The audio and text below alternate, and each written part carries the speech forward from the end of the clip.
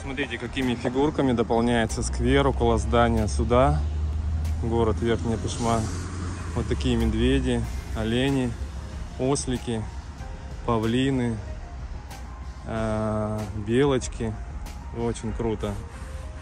Приятные на ощупь. Вот такие фигуры будут стоять здесь в сквере. Я так полагаю, где-то между деревьев, скорее всего, по всему скверу. Очень круто.